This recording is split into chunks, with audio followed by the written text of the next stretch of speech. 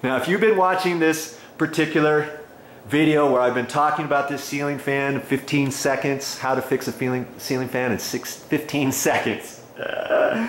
Uh, there's one more thing I want to talk about. This ceiling fan does not have, right now it's just got two cords here. One is high, medium, and low, off, and the other cord is to direct this ceiling fan in to towards the right or to the left on the fan blades.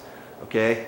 Now that's all they have. So every time they want to adjust this, like in the winter, they get to the point where this is sucking up and then they set and then something happens to where oh it's too hot um, or or whatever let's turn it down after we get it right let's say the fireplace is off now let's say this room is still uh, heated up properly what you can do is you can turn that ceiling fan down to low speed that's what I would do but they got they got to get up there and, and let me show you let me show you if I can even reach that I don't even know if I can reach that Steve is a lot taller than I am. See this here?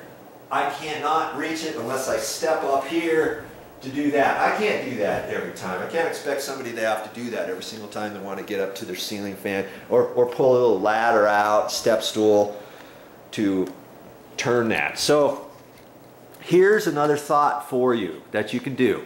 This ceiling fan still looks in pretty good shape. There's no reason why they should have to replace that with one that you can now adjust at the wall switch. This wall switch is just on and off, okay? One way's off, this is off.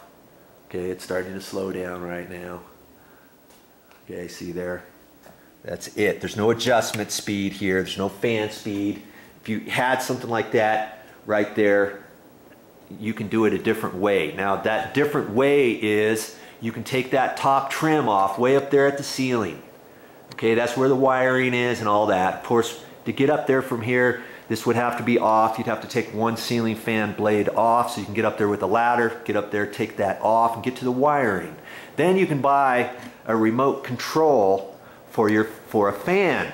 You buy uh, a handheld remote control module that you can hook right on the right on the wall here in a little thing and then just pull it out and hold it or you can set it over here on the table by your chair, your favorite chair, whatever.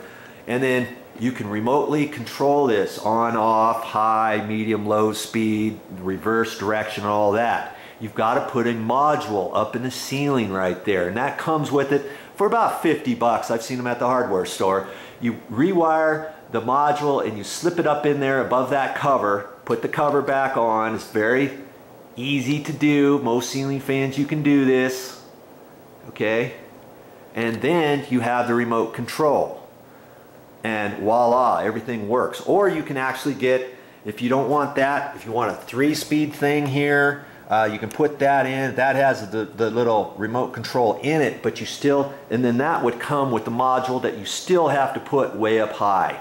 And that's something you can do pretty easy on a ceiling fan. Then you don't have to get up there. You can sit in your favorite chair. You can adjust that for high, medium, and low. In the summer, you can make it go the right direction that you want, and in the winter. Okay? So there's a tip for you.